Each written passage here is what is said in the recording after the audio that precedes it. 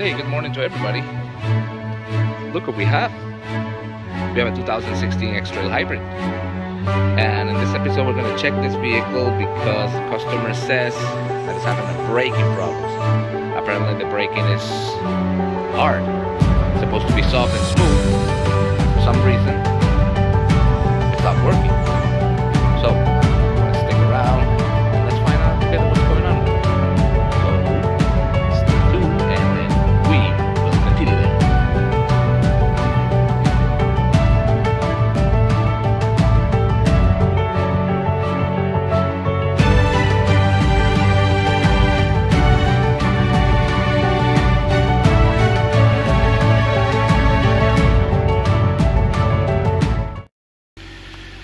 Okay, so I hook up the scan tool and after the health report, um, I'm seeing that the internal error in the audio navigation system, it's giving me an error in the sonar. Two, it's giving me an error with the power supply with the lane camera, but that's nothing, the customer didn't say anything about those. He's just complaining about the brakes. So one of the things I'm noticing is that we have these two lights. Just a moment let me close the door. There is this little whistling noise that never goes away. And the scan tool says C1111 pump motor and C118E accumulator press. So here's one thing one thing you need to understand about when it comes to hybrid and electric vehicles braking system these braking systems do not use the air vacuum pump uh, boosters in order to smooth the pedal. This works different. This type of vehicles needs to use a power electric motor with a cylinder accumulator where accumulates the pressure and that pressure is released every time you press the um, brake pedal. And for some reason, what I'm seeing over here, first of all, the motor is not, I, I'm not hearing the motor. The motor, every time you get close into a hybrid electric vehicle, and when you're to start it, you're always to hear that a little motor making a noise. That means that the motor is charging the braking system. But in this case, that's not happening. Uh, I, once I clear the code, the code comes immediately again.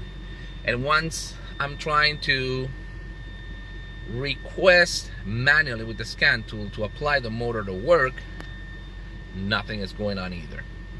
So I think we're having a motor problem. So what, what I got to do is I got to check that the motor is getting the proper signal and um, see if it's working. All right. So stick around and we will continue. Let me just open up in the front to see what we got there. All right. Yes, indeed. Now that electric motor accumulator they belong to this unit here in the back so I'm gonna have to take all this cover out and check the signal. So stick around and we will continue checking. Hello. All right so we found the problem and I'm just gonna give you a quick explanation.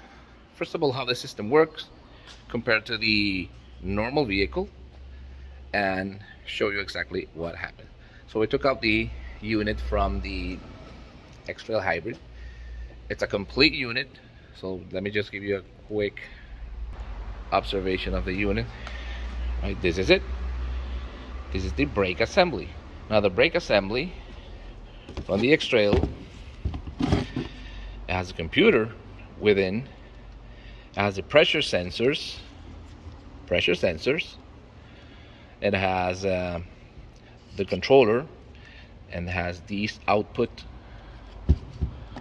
negative and positive power line to fit the electric motor that accumulates pressure in this accumulator.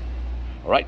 So when you depress the brake pedal all right this pressure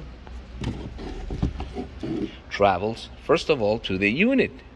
And the unit is the one who gives you more or less power. Now, where, where does that power come from? Well, take a look. It comes directly from the accumulator. You see? And that accumulator is the one who injects the power inside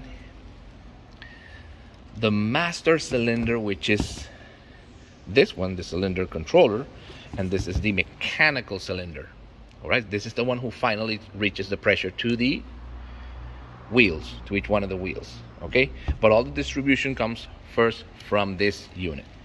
Now, let's make a quick, quick comparison to a normal vehicle, like for example, this one. This was just an example that I have over here. The master cylinder unit with the brake reservoir, but then we have the brake booster. Now this brake booster works different. This is for normal vehicle. So you need a air line that is connected directly to the intake of the vehicle, which makes a vacuum pressure, and that vacuum pressure allows the membrane inside over here to help the pressure to re to relieve the pressure when you press the pedal, and the pedal will be pressing more smooth and of course a lot of more power, so the brake will be very very much efficient. Now, as I said, in hybrid and electric vehicles, you don't have that system there. But why? Well, first of all, because sometimes the hybrid and electric vehicle, will, or in this case, the X-Trail hybrid, sometimes you're driving the vehicle only in electric mode. So who's gonna accumulate the pressure? Well, in this case, you're using an electric motor. Now the problem is, I am getting my signal from this main unit it's sending the signal, but the motor is not starting, so the motor is definitely in bad condition. So what are we're gonna do, we're just gonna change this motor, assemble it back, and that should be ready. So, in conclusion, it's not a big deal, but apparently in this vehicle in the X-Trail, this is happening a little bit often too, because this is not the first case. I had this case um, many times. So I was uh, kind of familiar with what was going on in this vehicle so it didn't take me too long to to diagnose once I saw the accumulator pressure and the low pressure code I figure out I say hey motor so when I physically check the electric motor just pinched the positive and negative with power and the motor was not starting and I also you can remember you can also request the motor to start by using the uh, scan tool which I did and it's not happening so in conclusion, when it comes to these X-Trail hybrids, um, that can happen to any other vehicle. Uh, I've seen it happen in Toyota too, Prius, um, uh, Prius C, the Aqua.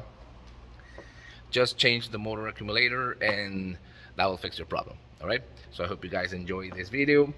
And one thing I wanted to mention before we go.